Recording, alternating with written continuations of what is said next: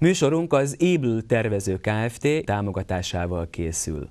Támogatónk a Penta általános építőipari Kft. Műsorunk médiapartnere a Sport Plus. Keresse péntekenként az újságárusoknál.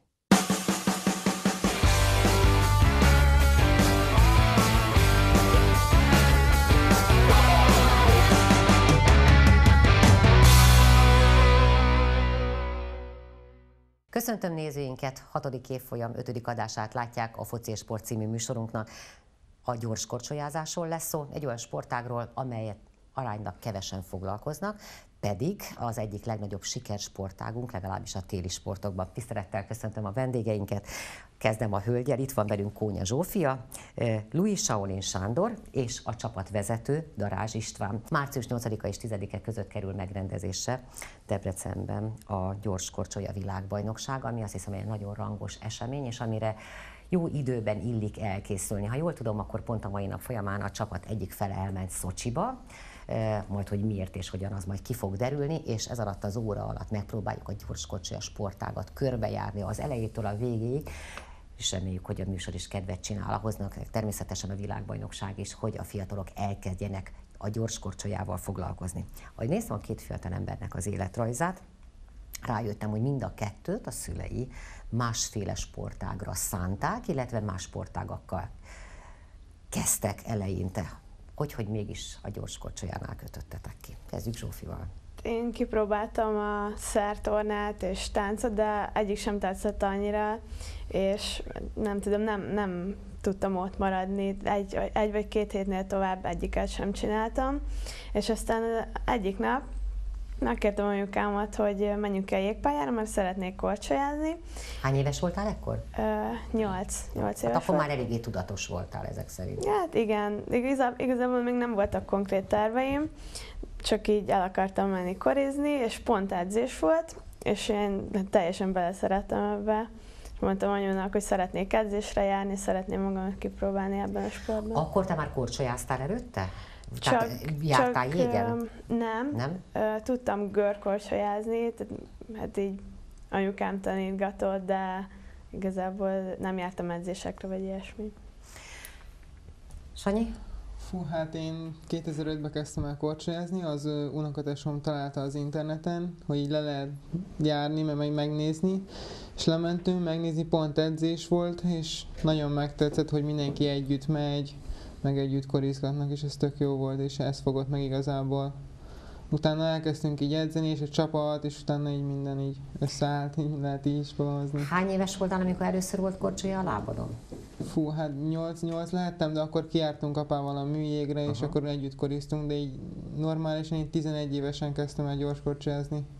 Most azért érdekes számomra az, hogy kinek hány éves korában volt korcsolya a lábán, és mindjárt rátérek arra, hogy milyen cipő volt a lábatokon, mert én visszagondolok arra, hogy Hát jó, persze egészen másak voltak a körülmények, meg szegénység volt, meg mit tudom, erre majd biztos István reflektál nekünk egy kicsit, de én vettem a fiamnak azt hiszem bizományiba korit, és mai napig előttem van a kép, ahogy neklött, nyaklat a lába, és valószínűleg azért is utálta meg a korcsolyázást, vagy nem szerette meg, mondom így, vagy nem lett ügyes, mert nem volt jó a cipő, amit a lábára adtak, és nem volt sikerélménye. Azon kívül, hogy én nem tudok jó korcsolyázni, és nem tudtam neki megmutatni.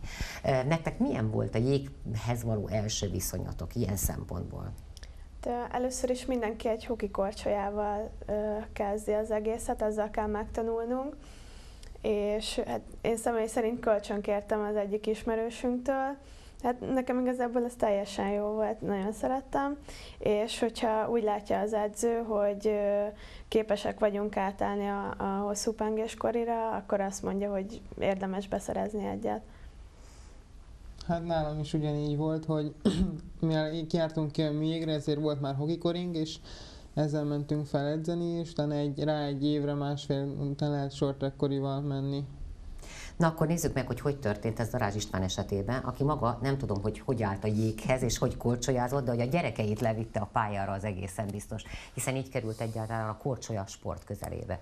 Igen, hát a, az én gyerekeim kicsit korábban kezdték, a fiam az két éves múlt, mikor először került hokikori, úgy, ahogy Zsófi is mondja, a lábára. Hát ő az a klasszikus eset, hogy szomjas üvegből megette a éppen aktuális adagmennyiséget az ételből, és aztán ment a pályára.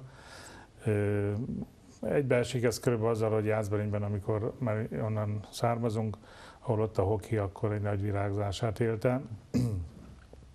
Azt azért hadd mondjam el kedves anyukának, hogy a használt korcsolyák azok mindig sajnos nagyobb kárt okoznak a gyerekeinknek. Ma már nagyon, hát ez igaz, hogy a, az én koromban még hát nagyon kezdeményezés. mondjuk nyugodtan így. Hát sokkal fiatalabb. Tehát nagyon nehéz volt új korcsolyát beszerezni, ez az egyik. A másik, azért ez olyan, mint a katonai bakancs, hogy hozzáalakul egy idő után az ember lábához. Uh-huh. Tehát ezért egy más által levetett korcsolya, az ugye próbálja idomítani a lábunkat a korcsolyához, és ez okozhat nagy fájdalmakat, és esetlegesen lehet, hogy a fiút is ezt tántorított el, hogy egy más által betört cipő. Na aztán visszatérve, tehát a gyerekeimre a lányom az négy éves korában kezdte el, nekünk Kercsó Csaba volt a tanítómesterünk, illetve a gyerekeimnek.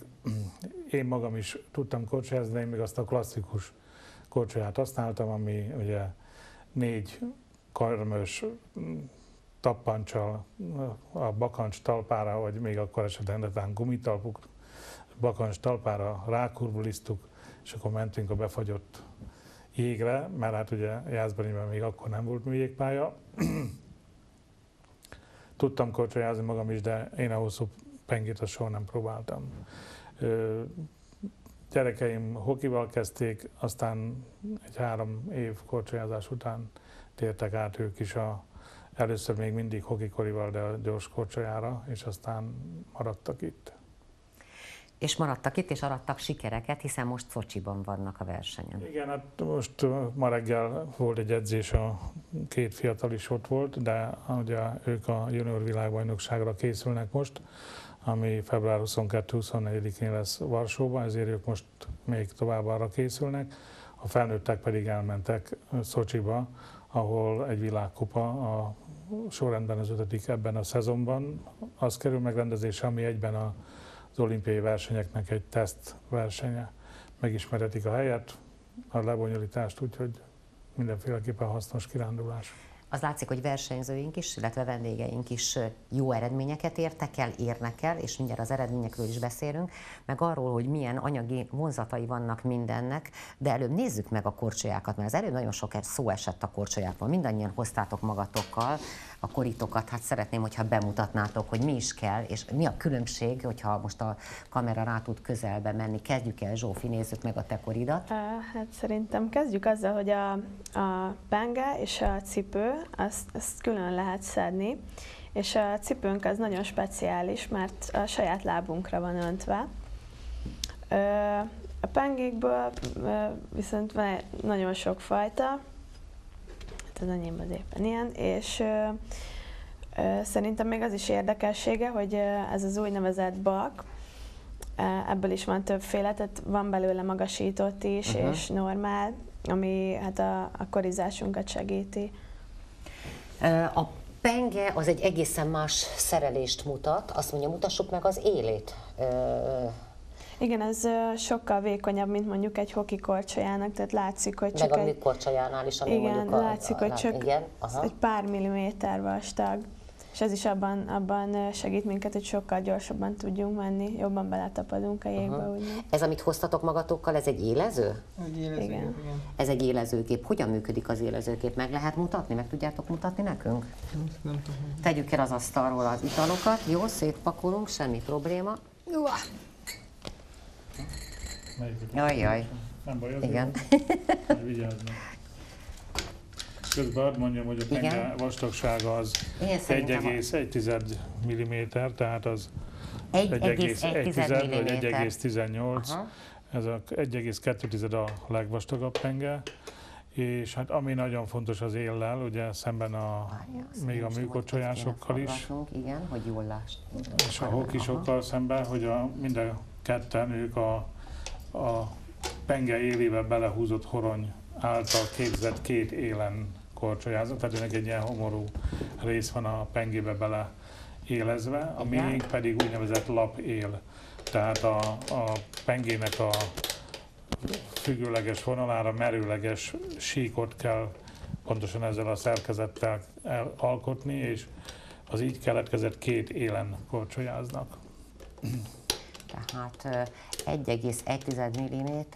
Erre nagyon-nagyon kell vigyázni. Én mindig attól féltem annak idején, amikor érezték a korimat, hogy nehogy kicsorbuljon például. Hát ilyen jó köszörőkövekkel élezték régen. Azért ez egy nagyon-nagyon speciális szerszám. Mennyire sűrűn kell élezni? Hát általában minden edzésre meg szoktuk élezni.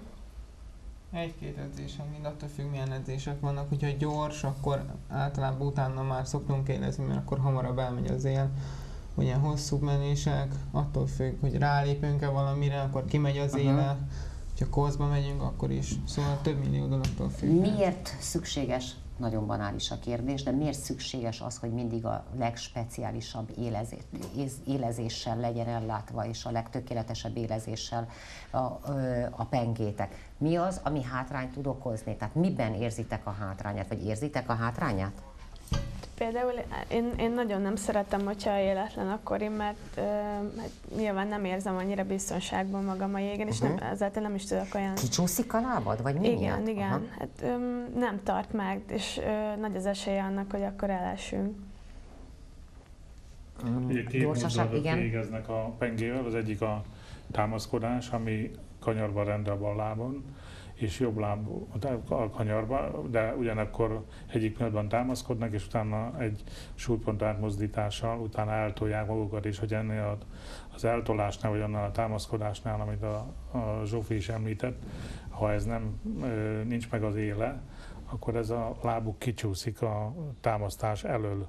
És hát a, ha biztos bizonyára látták a versenyeket, ők egy nagyon speciális testhelyzetet vesznek föl a kanyarba, gerincüket teljes egészében, combjukat mindent átformálnak egy normál tartásból, és ha ez ebben a helyzetben nincs meg a kellő alátámasztás, akkor ebből bizony esés van.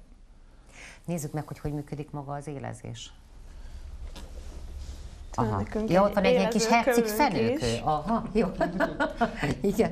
Na. Be vagyok kötve, és nem Be vagy kötve, igen, akkor Zsófi fog, igen. Hát most szerintem nem húzom rajta igen. végig, mert nem szeretném Sanyinak az életet tönkretenni, de igazából abból áll az egész, hogy a, a kövünk, az, annak van egy durva része és igen. egy puhább része, és a, a durvább részével ö, kell egy kicsit többet élezni, annyival áll az egész, hogy oda-vissza húzogatjuk, és ezáltal itt a, a pengének az oldalán kijön a sorja, az a lényeg, hogy kijöjjön, és hogyha ezt, ezt érezzük, hogy teljesen kijött, akkor jön a pengének a puha része, azzal is húzunk egy párat, és van még nekünk egy sorjakövünk, hát ebből is van több fajta, és ezzel kell leszedni. Aha ezzel kell leszedni a, a sorját. És hogyha ha mindent jól csináltunk... Hát akkor a széléről... Igen, igen, igen ezt így a, az oldalára kell ráfektetni, és ugyanúgy húzogatni kell, és igen, hogyha mindent jól csináltunk, akkor elvileg jó lesz az élünk nagyon. Gyakorlatilag ezt minden egyzésnél, vagy minden hogy saját magatok leellenőrzitek, vagy az egyző leellenőrzi gyakorlatilag tökéletese. Magatokban bíztok ilyenkor, vagy pedig szakemberben, hogy, hogy a legtökéletesebb legyen a pengétek? Hát mi magunknak szoktunk élezni, vannak csapatok, ahol van külön úgymond élező ember, de, de mi ezt magunknak szoktuk csinálni, és szerintem mindenki teljes mértékben tudja, hogy, hogy mi a jó. Most az jutott az eszembe, ugye Sanyi eleve már abba a ruhába jött, a címeres mezbe, ami ami a versenyeken rajtatok van. Hát Zsófi pedig ugye a rendes hétköznapi nőies ruhájában lehet azt mondani. Az jutott az eszembe, hogy mondtad, hogy szertornáztál, meg hát balett, vagy nem tudom én milyen kiegészítő sportot próbált neked az anyu, és te maradtál ennél holott itt beszéltünk arról, hogy egy teljesen speciális testtartással és speciális egyzésekre van szükség ahhoz, hogy jó erőlétbe legyetek, és hogy ne készüljetek ki. Hát most ö, gondoljuk bele, láttuk a felvételeket is az előbb, hogy azért hát ez nem a legkímélőbb sportok közé tartozik. Hogyan lehet fölkészülni rá nektek, amíg az, a, a szervezetetek átállt erre a fajta egyzésmódra, erre a tartásra? Voltak-e problémáitok? Hát emlékszem, hogy a, amikor elkezdtem egészen kiskoromban, nagyon sokszor volt izomlázam, mert ugye hát majdnem hát ilyen googolás közeli helyzetben kell magunkat megtartani, ami, ami azért nagyon megkíméli a szombokat és a, a hát... Nem, ki, hát nem, nem kíméli a combokat. Igen, hogy nem kíméli. És a hátat is egyaránt és hát nagyon fontos az alapozás, például a nyári alapozás, rengeteget futunk, konditerembe járunk, imitálunk, ugye, ami azt akarja, hogy a koris mozdulatokat gyakoroljuk, és hát így, így el lehet érni azt, hogy megerősödjünk annyira, hogy a, a jégen ne legyen probléma azzal, hogy megtartsuk magunkat. Az izomláz melyik testrészeteken volt érezhető legjobban? Fú, hát Vagy minden, minden, mindenhol lehet érezni, mindenhol. mindenhol lehet érezni. Valamikor ilyen speciális feladatokat kell csinálni, és akkor ott lehet érezni, valamikor comba, vádliba, amikor, amikor vannak felsőtestes edzések is, mert a váltóba lökni kell a másikat, és így felsőtestnek is erősödnie kell, és akkor valamikor felsőtest is fáradt, meg izomláz van, szóval mindenhol konkrétan de én azt gondolom, hogy a legjobban a derekat és a combot készíti ki a ez a speciális tartás, ez mondjuk ugye az, hogy természetellenes tartás, ez okoz gondokat. Nyilván, ha valaki nem figyel oda a kiegészítő tevékenységekre, amit ugye Zsófi már félig elmondott, mert azért hiányzik még egy része, lazítás, uh-huh. nyújtási rész, ami amit ők a lazítás, azt nagyon szeretik, főleg akkor nem csinálnak semmit, mert az is egy lazítás. Tehát a nyújtás az, ami ehhez még nagyon segít. És vannak olyan izomcsoportok, és ezt már nagyon tudományosan kiművelték a sportág ismerői, hogy vannak bizony olyan izomzatok, amelyeket egyébként az ember nem is gondolná, hogy a sportágunkhoz szükséges, de ahhoz, hogy például ez a tartás ne okozzon maradandó károsodást a gerincnek a statikájában, ezért ezeket az izmokat erősíteni kell. Legfőképpen ugye ezek a mélyhát izmok, amik ugye a gerincnek a, az egyenes tartását, a csigolyáknak a függőlegesen való egymáson elhelyezkedését biztosítják. Ezeket kell megerősíteni egyik oldalról, másik oldalról meg kellő lazasággal is kell ellátni a többi izmot, mert ugye ezek a függőleges tartásoktól egészen elvetemülten idézőjelben közlekednek, és nagyon fontos a kiegészítő sport hozzá, tehát azok a gyakorlatok van, amikor szemben mennek a megszokott mozgás iránya, pontosan azért, hogy ez ugyanolyan, mint régen volt a iskolás táska, ugye, hogy először ugye kézbe cipeltük, háton cipeltük, növekedett a súlya, hol ide tettük, hol oda tettük, és a gyerekeknek ugye gerinc problémákat okozott. Itt mint ahogy ott is, itt is szükség van arra, hogy kiegészítsük ezeket a mozgásokat, amik úgymond a sportákhoz tartoznak, de nem a sportági mozgás segítik, hanem ellensúlyozzák pont azt a mozgást. Junior világbajnokságon már mind a ketten indultatok, ha jól tudom, és nagyon szép eredményeket éltetek el. Ha jól tudom, akkor te a negyedik legjobb időt futottad az egyik versenyen, talán a legutóbbin, és hát ez egy hihetetlen nagy dolog, mert Ugye itt Kína, Korea, Kanada, a három kábet és a három legrangosabb mezőnybe Magyarországról, a, nem a jégsportok hazájáról eljutni, az valami elképesztő teljesítmény. Úgyhogy gratulálok mind a kettőtöknek. Neked mi volt egyébként a legjobb eredményed? Az el, most az EB harmadik hely. EB harmadik hely, gyönyörű, csodálatosan az, az most a legjobb, de azelőtt a Junior VB negyedik. Nagyon jó, és neked?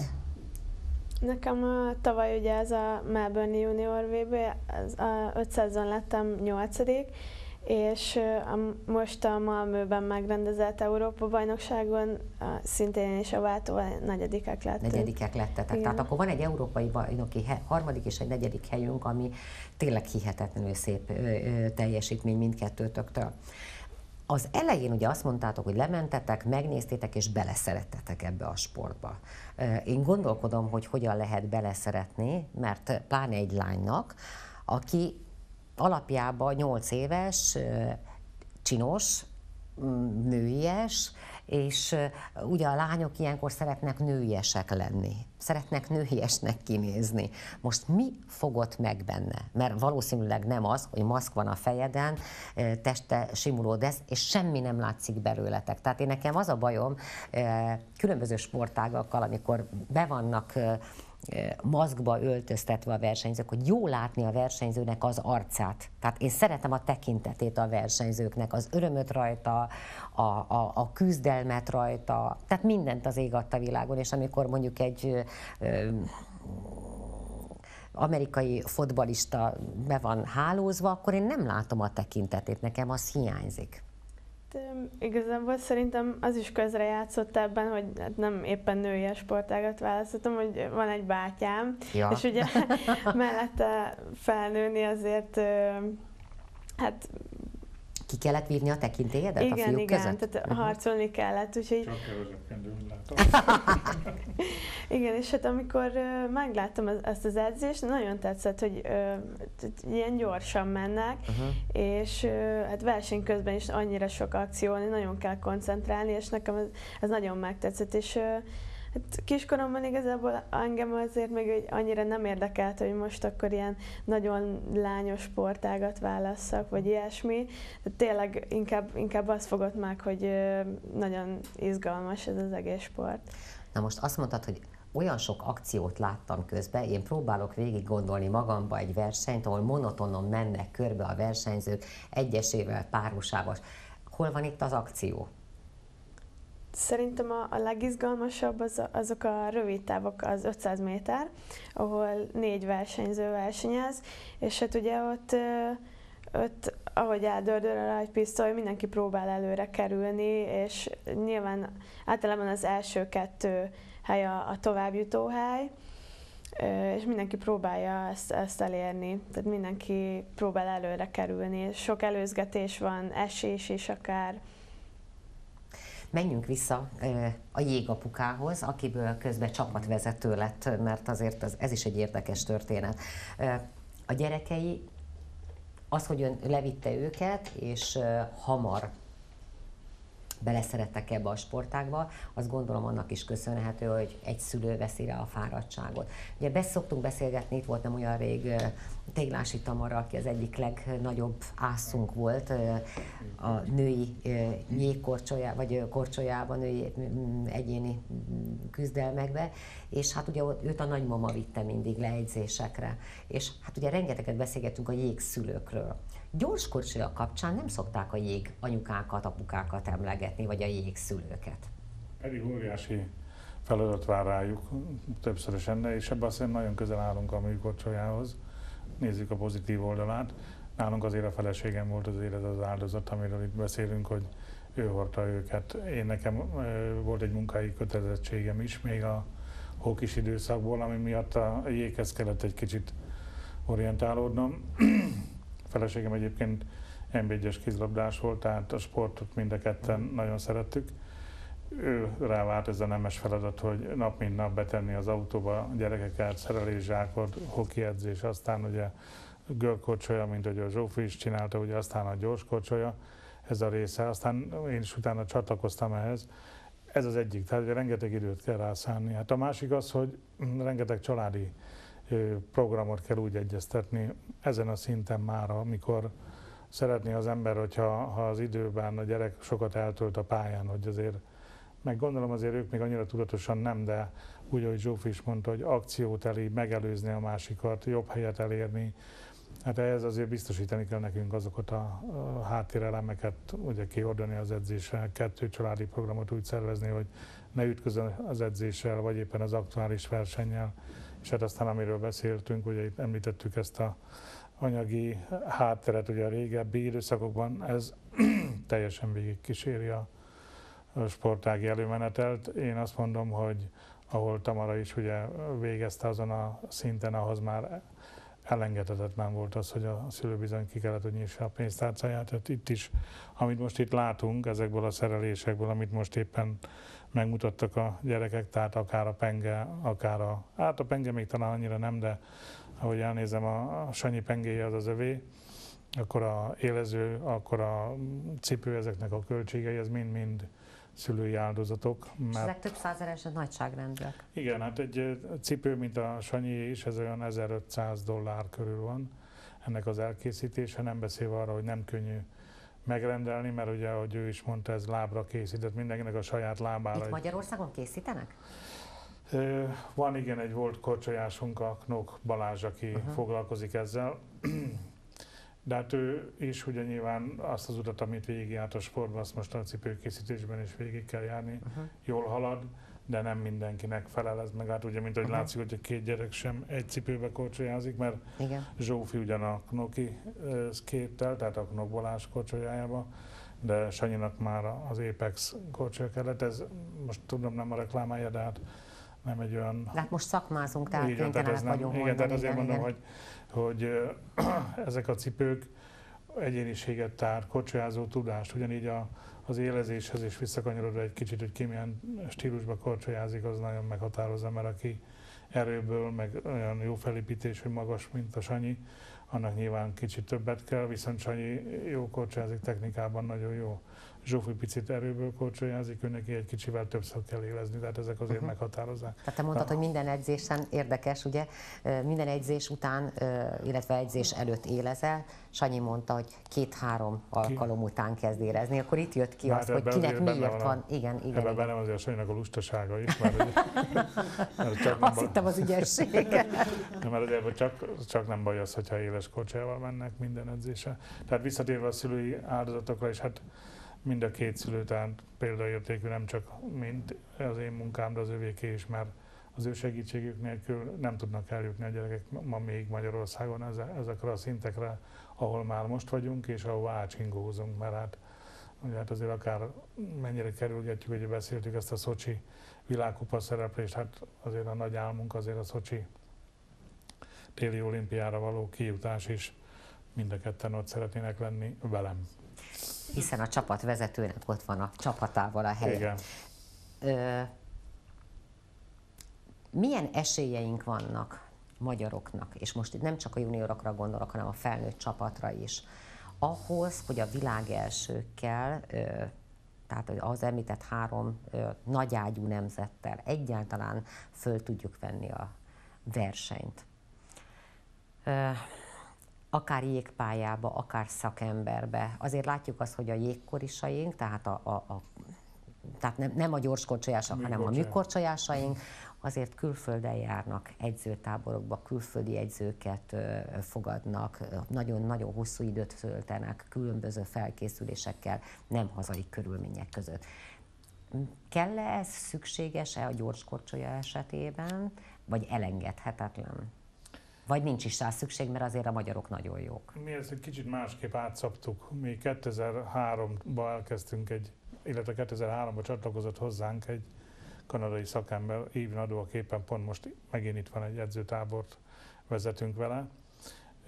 Ő rajta keresztül megismertük a kanadai módszert, és az ő segítségével én azt hiszem, hogy azt senki nem vitatja, hogy a 2006-os torinói jó szereplés és 26 év utáni pontszerzés az részben köszönhető volt annak, hogy ő egy, ö, nagy tapasztalattal rendelkező edző átadta nekünk azokat a tapasztalatait, amivel ő annak idején a kanadai válogatottat több olimpiai aranyéremre és világbajnoki aranyéremre vezette. Megfizethető egy ilyen edző? Térjünk erre vissza, jó? jó, és akkor jó, jó. A másik része a dolgoknak, hogy azért van annak a idézőjelben előnyeit, hátrányait, hogy Magyarországon vagyunk. Magyarországon is van nagyon jó feltétele a felkészülésnek, de azért egy magaslati felkészülés közel 2000 méter magasságban az ugye nyilván Magyarországon nem adott, ezért Olaszországban volt, amikor Erdélybe, Brassó mellé mentünk 2000 méter magasra, vagy Szlovákiába. Miért, miért szükséges ez? Ez egy, hát mondanám azt, hogy a szabályszerű engedélyezett doping része, az úgynevezett EPO-nak a természetes úton való serkentése, a vörösvértes szám, miután ott az oxigén mennyisége kevesebb a levegőben, ezért ahhoz, hogy a megfelelő mennyiségű oxigént az izmainkhoz el tudja szállítani a szervezet, ezért a vörösvértestek számát meg kell emelni. Na most ezt, hogyha egy normál módon is nem mesterkélten, tehát nem vérátomlesztéssel okozzák, akkor ez szabályos. Föndolgoznak kb. egy 3-4 hetet 2000 méteren, ezáltal megindul a szervezetben egy folyamat, ami a vörösvértes számokat megemeli, aztán hazajönnek, és van egy adaptációs időszak, amikor még ugye ez emelkedik és eléri a csúcsot, és attól a ponttól kezdve, vagy azt megelőzően kezdve egy jó kemény, egy hónapos munkára plusz vörösvértestekre tettek számot, és ezzel keményebb munkát tudnak végezni, jobb alapozási eredményeket érnek el. Ez egy eléggé régi és jó bevált módszer. Ezt szokták kihasználni sajnos, akik nem, tisztáz, nem tisztán szeretnek versenyezni. Tehát ezért nekünk is el kell menni Magyarországról. Viszont ö, aztán ugye a kanadai módszer után most ö, nyitottunk mi magunk, mondjuk mi, hát nyitottak az ázsiaiak irányunkba, és most egy éve egy Kínából jövő világbajnoki helyezett, olimpiai helyezett hölgy, aki ma edzőként dolgozik, tanácsadóként van a csapat mellett, és a kínai precizitás, technikai elemeknek a begyakorlása, aztán az ő korukra még alkalmazható, már úgy, hogy a, ugye a adaptációs időszak azért itt ez hosszabb, ö, teljesítmény, terhel, tehát terhel teljesítménnyel dolgozó ö, edzések ö, meghonosítása, ezeket azok, amiket átveszünk tőlük. Tehát mi egy kicsit úgy, úgy csináljuk, hogy még a műkorcsolyások egy kicsit könnyebben utaznak ilyen tekintetben, mert egy fő, vagy ha, tá, ha páros, ugye, akkor az két fő utazik, nálunk azért egy csapat olyan 15-20 fő, tehát még mindig szerencsésebb, és itt kanyarodok akkor vissza, hogy idehozni uh-huh. az edzőt, és itt dolgozni vele. A, az értéke, hogy megfizethető vagy nem megfizethető, én úgy gondolom, hogy a fejlődés egy bizonyos szakasza után már mert ez mindig úgy működik, mint a Ramboló Pandúr esete, ugye, hogy mi amikor elkezdtük, voltak egy szinten a versenyzőink, aztán ugye az edzőink egy kicsit előrébb jártak, akkor a versenyzők utolérték őket, akkor megint ugye az edzőképzéssel foglalkozni kellett, megint előrébb kerültek. Viszont ö, azt azért tudni kell, hogy a versenyzői fejlődés az gyorsabb. Ezért, miután Európában sehol nincsen ennek a sportágnak edzői képzése, ezért szerveztünk, itt Sallag György meg Martos György segítségével, illetve a kanadai hívnadó segítségével egy nemzetközi programot, ami már 1998 óta működik, minden évben három-négy úgynevezett ISU tábort tartunk, az ISU a Nemzetközi Szövetsége ennek a sportágaknak, benne a műkorcsolya is. És ezekben a táborokban képezzük a gyerekeinket, ugye a környező országból, most is tíz országból vannak itt versenyzők, illetve az edzőknek az úgynevezett supervisor, éppen ebben az esetben az ívnadó, de most már nagyon ö, művelt két magyar segítője van, a Telegdi Attila, aki egyébként a válogatottnak a vezetőedzője, és Bánhidi Ákos, aki szintén a válogatottnál tevékenykedik, mint edző. Tehát ők a ívnadó segítői, akiket ívnadó úgymond oktatott, tanított erre a sportra, természetesen mellé téve a saját tapasztalataikat, és így kialakult, én úgy érzem, egy rendszer, és ehhez csatlakozott most, nevezük úgy, hogy Lina, mert így hívjuk mi ezt a kínai edzőhölgyet, és akkor így ővele kiegészülve most én úgy érzem, hogy egy, megint egy ütőképes szakmai vezetés van a válogatott élén. Hát érdekes.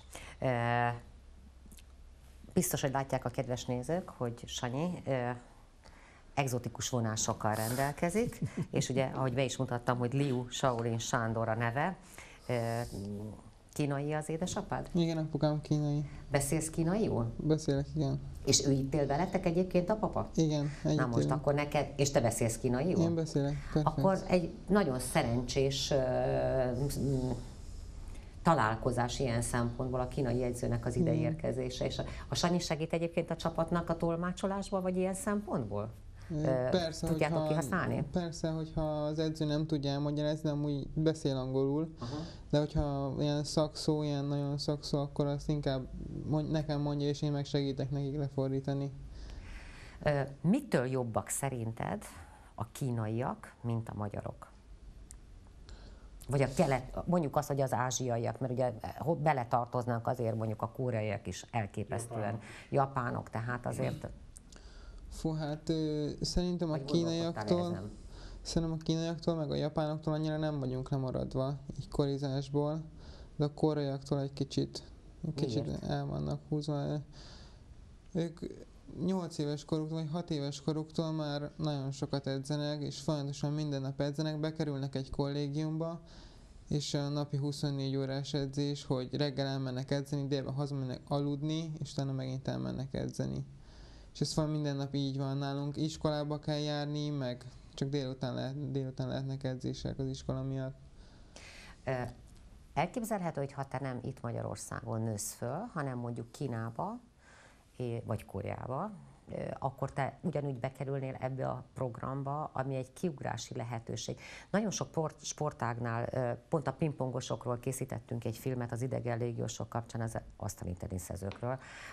Az elmúlt héten ment először a sporttelevízión, és itt is látják majd a kedves nézők, és pont erről volt szó, hogy gyakorlatilag azért annyira jók az ázsiai sportolók, mert bekerülnek egy ilyen sportprogramba, 2, 3, 4, 5 évesen, nem tudom, 8 évesen, bentlakásosak, és reggeltől estig az a sport tölti ki az életüket, csak legfeljebb délután aludnak egy picit, és egyébként mm, semmi másra nem koncentrálnak, mert ez a kiugrási lehetőség. Szeretnél te egy ilyenben részt venni, vagy el tudnád képzelni magad egy ilyen közegben? Hát én tapasztalatban mondtam mindezt, mert én, Ja, te voltál én, én ilyenben. voltam, voltam Hoppá. kint. Voltam kint, egyedül fél, év, fél évet voltam kint, és így együtt lakszunk, meg együtt e- evett mindenki, és így sokkal jobban rá lehet hangolódni a sportra, mert én hazajöttem, és az iskola miatt így elszívta az agyamat, és nem tudtam már százszerzalékosan odafigyelni az edzésre, Nem szóval, szóval De nem, most Szóval- tényleg kíváncsi vagyok rá, hogy te egy fiatal srác vagy, 18 éves,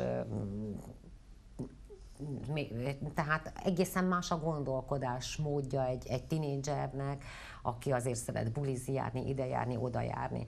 Nézzük meg annak a jó oldalát, illetve a rossz oldalát. Nagyon kíváncsi vagyok, hogy hogyan élted meg belülről, és hogyan éled meg az itthoni életedet.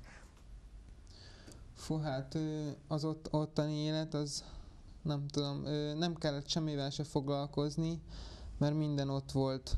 Hogyha akármi kellett, ott, ott volt, és meg, megadták. Itthon azért egy kicsit más, mondjuk bejárni otthonról, az még idő, meg minden, minden, minden, túl sok idő megy el fölöslegesen szerintem Felszerelés. a felszerelésekről is. Miben érezted jobban magad? Abban a közegben, tehát most akkor válasszuk szét, tehát sportember szempontjából, a sportoló szempontjából, aki eredményt akar elérni, az a jobb megoldás? Egyértelműen? Szerintem igen, én, én úgy látom, de élet szempontból itt sokkal jobb a hangulat is, meg az edzéseken. Mhm. Ott ilyen, ilyen kicsit ilyen robotos edzés van, hogy csak az edzés, csak az edzés, igen, nem szabad beszélni, meg semmi, csak néha egy kicsit esténként így együtt Mhm. lenni. De Hát érdekes nem. világ. De azt azért hadd tegyem hozzá, hogy ugye nem beszéltünk össze erről, meg ugye velük nem nagyon szoktunk azért ennyire mélységekig, de a világon körülbelül azt lehetne mondani, hogy három stílus van. Én úgy gondolom a többi sportágban is. Most a mi sportágunknál maradva van az ázsiai stílus, ami úgy, ahogy Sanyi is jellemezte, hogy rendkívül szigorú. Ö, azt mondhatnám, hogy kiadják a feladatokat, kérdezés nincs, hajtsd végre.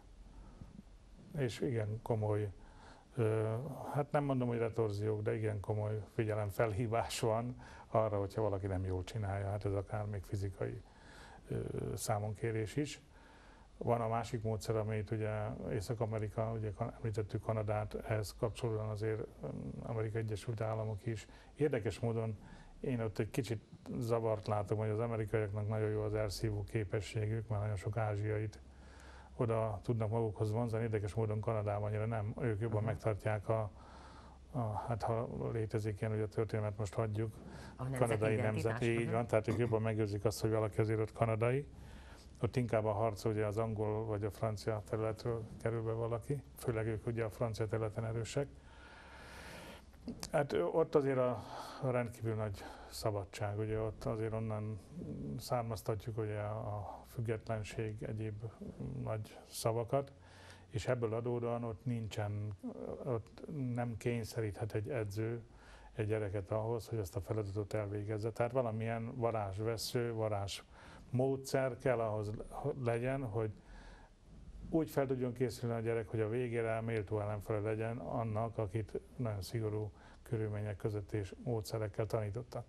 Na most mi ugye, mint ahogy említettem az előbb, próbáltuk a kanadai módszert, aztán ugye akár Sanyi révén is, de, ugye, de aztán most már a Lina révén betekintést nyerünk a, az ázsiai módszerekbe, mert azért azt tudni kell, hogy az európai módszer, mint olyan. Mint harmadik módszer. Úgy van, mint harmadik módszer, az egy, hát mondjuk azt, hogy összvér módszer, mert igyekszünk szigorúak lenni, főleg ugye itt a kelet-európai részekben, a nyugat-európaiak főleg a szabadabb nevelésnek hívei, Viszont az, hogy a technika mely részét kihonosítja meg, ez sajnos meghatároz az, amit mondtam, hogy nincs Európában szakemberképzés. Ezért mindig azok az edzők, akik az előbb említett két másik területről érkeznek, azok határozzák meg éppen az adott országnak a stílusát.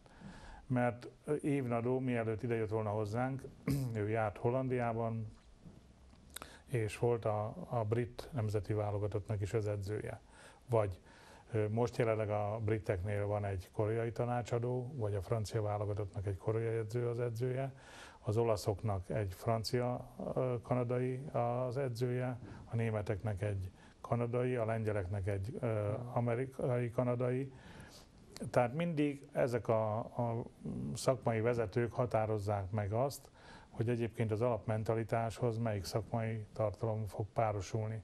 De most ebből adódóan azért nálunk aztán jönnek a, a vegyes eredmények Európában, ugye, mert így nem tud kialakulni igazából egy, azt mondhatnánk, hogy ez egy európai stílus. Nem baj, mert eredményesnek eredményes, mert azért azt mondanám, hogy egy kicsit hencegjünk itt a fiatalokon túli eredménnyel is, hogy 2005 óta méltó felei vagyunk az európai nemzeteknek, és bizony oda tudunk piszkálni világversenyen, mert 2005-ben volt az első, bocsánat, második, mert ugye Knok Balázsnak sikerült 1000 méteren 98-ban döntőbe kerülnie, és aztán ezt 2005-től meg tudtuk ismételni, sőt 2009-ben Sherbrookeban Knok Viktor két oroszáig még világsús tartó is volt 500 méteren, és hát végül az a Cselszki vette el tőle a világcsúcsot, aki most jelenleg elsőnek a világon 40 másodpercen belülre korcsolyázott férfi 500 méteren. Tehát ennyit a stílusokról. Az, hogy melyik jobb Magyarországon, hát természetesen ugye úgy, ez, úgy mint a, a maga zsákból, hogy ha van valahol egy pici lyuk, akkor ott az szeretne kiszökni. Hát ők is azért a tudatosabbak közé tartoznak a munka oldaláról, de azért ők is alkalmanként azért, hogyha el lehet egy kicsit lébecolni valamit, akkor azt abban azért nem maradnak le. Fussunk végig egy általános napon, amikor nincsen verseny. Hogy néz az ki? Hát ez, ez attól is függ, hogy reggel van edzés, vagy nincs. Kezdjük a reggeli edzéssel. Hát ö, ma is így volt például. Reggel felkelünk, elmegyünk edzésre. Hányra? Tessék? Hányra? Ma 7 órától volt reggeljegünk, és 1 óra 20 perces volt. És hogyha, hogyha éppen iskolanap van, akkor a nagy részünk megy iskolába, utána hazaérünk, és utána már indulunk is az esti edzés, a vagy a délutáni. Az, hogy mindegyik iskolás, csak nem mindenki megy el. Magántanulók vagytok? Nem. Én igen. Uh-huh. Tehát azért gyakorlatilag magántanulás mellett, igen, azért gondolom, hogy azt mondta, hogy iskolanap van, hogy ha éppen tudok, akkor bemegyek. Gondolom versenyidőszakban nem nagyon lehet bejárni. Nálad hogy tolerálják az iskolában? A magántanulók az egy külön kategória. Hogy tolerálják az iskolában? Én sportiskolába járok. Tehát akkor az már eleve igen. egy a sport szóval köré épülő Igen, jobban, jobban mhm. elnézik, de a jegyeket azért még annyira nem. Így elmegyünk ilyen világkupákra két hétre, és utána még pótolni, Segítőkészek a tanárok? Az én iskolámban nagyon. Néha, néha. Hát ott meg egyértelműen a sportiskolában, itt inkább az, hogyha egy külső suli és nem sportiskola, akkor, akkor nehezebb. Mennyi külső segítséget kapsz ilyenkor ahhoz, hogy a mm, hiányaidat be tud pótolni? Igazából én a, az osztálytársaimra szoktam így támaszkodni, mert hát ők is nagyon, tényleg nagyon sokat szoktak segíteni, hogyha ha elutazunk mondjuk világkupákra, akkor szokták küldeni e-mailben, tehát lefényképezik, vagy beszkennelik, és akkor próbálok közben tanulni, vagy hát a, van a fénymásolásos megoldás, hogy ugye utólag megpróbálom uh-huh. bepótolni, és hát a, a tanárok is hát tudják, hogy nem lógok, szóval, hogy komoly versenyekre járok, úgyhogy teljes mértékben tolerálják. És gondolom, hogy nagyon-nagyon büszkék rátok. Térjünk egy, itt az utolsó pár percbe értünk, térjünk rá a márciusi világbajnokságra Debrecenben. Milyen számok lesznek, milyen lesz a mezőny, hányan vesznek részt rajta, hogy fog összeállni a magyar csapat? Hát ugye a világbajnokságnak egy szigorú forgatókönyve van.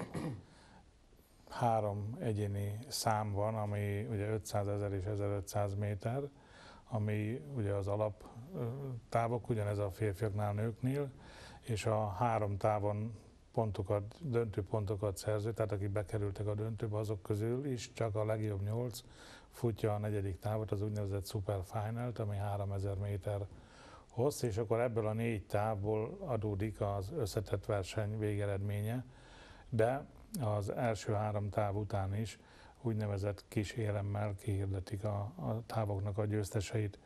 Ezen kívül van a női és férfi váltó. A női váltó az 3000 méter, a férfi váltó az 5000 méter.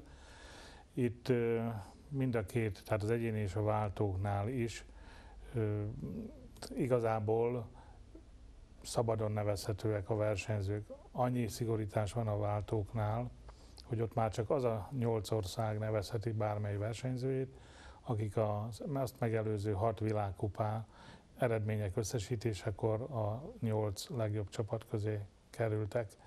A lányok ezt bízom benne, hogy megtartják, mert jelenleg benne vagyunk a legjobb nyolcban. A fiúk pedig, mint rendező ország, joga van a saját csapatát indítani, ha ő ezzel élni kíván, hát mi élni kívánunk, mert főleg most, hogy a az EB után végre 2009 óta úgy néz ki, hogy kezd alakulni egy újabb férfi váltócsapat. Ott is nyolcan indulnak, tehát ott már szigorúbb a nevezhetőség. Az egyéniben várhatóan kb. 90-100 körüli férfi versenyző, és egy olyan 70-80 körüli női versenyzőnél fog majd megállapodni azoknak a száma, akik majd végül elindulnak a versenyen. Az országok számát tekintve a legújabb adat az, amit tegnap ellenőriztem, mielőtt ugye becsuktam a gépemet, 34 országnál tartunk jelenleg. Ez minden időknek a legnagyobb számú csapata, még ehhez fog csatlakozni mindenféleképpen valószínű még minimum két ország, tehát 36 országgal biztos, hogy a sportág legnagyobb világbajnokságát fogjuk megrendezni Debrecenben. Debrecen városa nagyon sok sporteseménynek ad helyszínt. Nem tudom, hogy milyen világversenyek kerültek megrendezésre Debrecenben, de mennyire kell, hogy a város segítséget nyújtson a, szak, a szakági szövetségnek ahhoz, hogy egy ilyen nagy ö, lélegzetű verseny, mert ugye beszéltük, hogy itt nem, mint a műkorisoknál, hogy kimegy egy vagy két fő, hanem itt csapatok vannak 10-15 fővel. Ha jól tudom, Debrecennek ez a 20. világeseménye. Az igen. Tehát nagyon Akkor profik, elég fölkészültek. És hát nekünk van egy kis laufunk ebben, mert teljesen véletlenül idézőjelve a Debrecen város polgármestere az a Magyarországos Korcsázó Szövetségnek az elnöke. A nevét a személyen tudjuk, Kósa Lajosnak hívják. Tehát Kósa rendkívül mód szereti a sportot, és egy nagyon jó kis csoport áll a segítségére, hogy ezt a sportági rajongást, vagy a sport iránti rajongását ők formába öntsék, és nagyszerű utánpótlás neveléssel, létesítményekkel rendelkeznek. Én úgy gondolom, hogy biztos, hogy megfelelő rutinnal rendelkeznek már, most ugye már az előző 19 mindig csak szuperlatívuszokban nyilatkoztak a résztvevők, hogy most sem lesz másképp külön kialakult stábjuk van, akik a, az általános kiszolgálást, amit ön is kérdezett, vagy éppen említett, nagyszerű feltételeket fognak tudni biztosítani, és hát nyilván a Korcső Szövetség pedig a szakmai hátteret fogja ehhez a rendezvényhez biztosítani. Még egy Igen? gondolatot, mert az előbb lemaradtak a versenyzők. én bízom benne, hogy mind a kettőjükkel fogunk találkozni a csapatba. Ugye kétszer öt fő nevezhető végül a, majd a versenyeseménynek a heti keddig, illetve szerdáig. Öt-öt fő, öt fiú, öt lány, és hát Zsófi ugye a női váltónak most már lassan majd oszlopos tagja lesz, és hát Sanyi, ő is oszlopos tagja most már a, a váltónak, és meglátjuk, hogy egyéniben, mert ugye kettő-kettő versenyzőt indíthatunk egyéni távokon, abban majd meglátjuk, az majd kedden vagy szerdán A pillanatnyi fog formától Így van. fog Ehhez függeni. nagyon fog Igen. hiányozni az, hogy hogy fognak szerepelni Varsóban kettő hét múlva, ugye, vagy három hét múlva az a junior világbajnokságon. Most már tényleg az utolsó perceknél vagyunk, de még ezt kénytelen vagyok megkérdezni. Sokan nézték most ezt az adást, és szeretném felhívni a figyelmüket, hogy pénteken a Sport Pluszban láthatják az újságban azt a cikket, amit erről a beszélgetésről készítenek a kollégáink. Kiket érdemes erre a sportágra, milyen gyerekeket, milyen időskortól, mert lehet, hogy fölmerül a szülőkbe, hogy na, akkor, akkor há- hát, ha, hát, ha az én gyerekem is szívesen állna ahhoz, hogy gyorskorcsolyázó legyen. Nagyon röviden megpróbálom összefoglalni. Tehát azt azért tudni kell, hogy a sport ma Magyarországon ott tart, ugye, hogy van a család, van a gyerek, szülő ugye alkotja a családot, van az iskola és van a sportegyesület. Ma Magyarországon rendkívül nehéz ezt összehangolni. Az a család, amelyik szeretné, hogy a gyerekeit is, és sportáktól függetlenül, hogy jó, nagyszerű eredményeket érjenek el, rendkívül nagy áldozatokat kell vállalni, mert ma még nem létezik az a nagyszerű szinkron, ami szükséges volna az iskola és a sport között. Ha ez létrejön, akkor meg tudjuk adni mindenkinek azt a lehetőséget. Kik jöjjönek? Hát azok jöjjönek elsősorban, akik nem félnek a hidegtől, mert azért azt tudni kell, hogy a pálya mellett, meg a pályán azért csak hideg van. Bár én tavaly Dél-Kelet-Ázsiában voltam egy pálya megnyitó utáni sportág bemutatón, ahol a jég fölött 60 centire 21 fok volt. Csak hát azon nem nagyon lehetett ö, sem műkorcsolyázni, sem gyorskorcsolyázni, de hát azért megpróbáltuk. Tehát akik nem óckodnak a hidegtől, nagy elszántsággal bíznak, és hát én úgy gondolom, hogy a Zsófi a nagyszerű példa rá, hogy nők is megtalálják a számításokat benne. Aki ötös magatartásból, az is jöjjön, de azért egy picit annak nehezebb lesz. Aki hármas, négyes, annak kicsit könnyebb dolga van, mert a csibészség ahhoz, az akciókhoz, amit ugye említettek, ahhoz a csibészség kell, mert azért bele kell gondolni, 50 kilométeres sebességet is elérnek eh, itt ezen a pályán, kanyarodnak.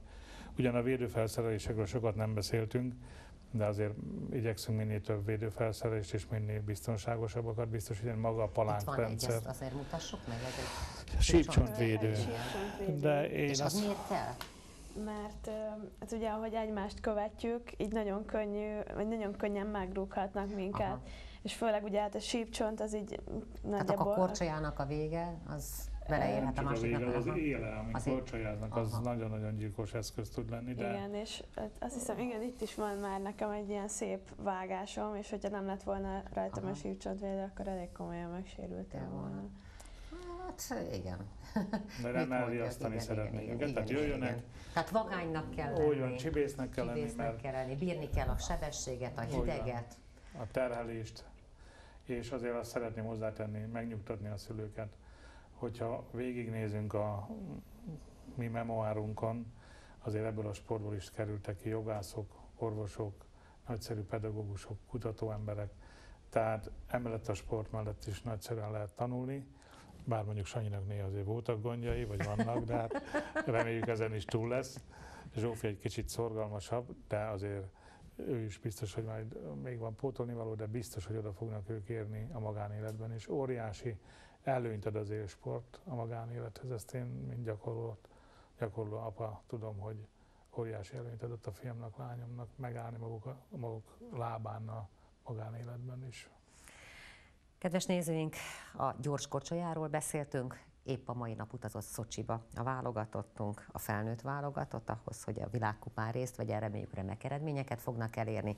A fiataloknak két hét múlva a Varsói kupához, világkupához fogunk tiszta szívvel szurkolni, és önöket pedig várjuk Debrecenben, március 8 és 10-e között a Magyarországon megrendező világbajnokságra, ahol lehet szurkolni a magyar csapat férfi és női tagjainak is, aki pedig úgy érzi, hogy jó lenne, hogyha a gyermek egy gyors kocsijázna, nyugodtan keresse meg a környéken levő szerintem szakembereket, mert egészen biztos, hogy ha csetlik-botlik a gyerek a jégen, akkor nem lesz annyi öröme, mint hogyha első pillanattól kezdve avatott kezekbe kerül.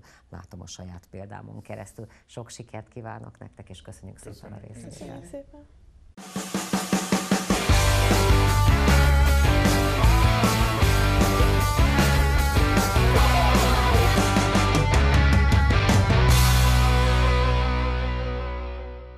Műsorunk az Ébül Tervező Kft. támogatásával készül.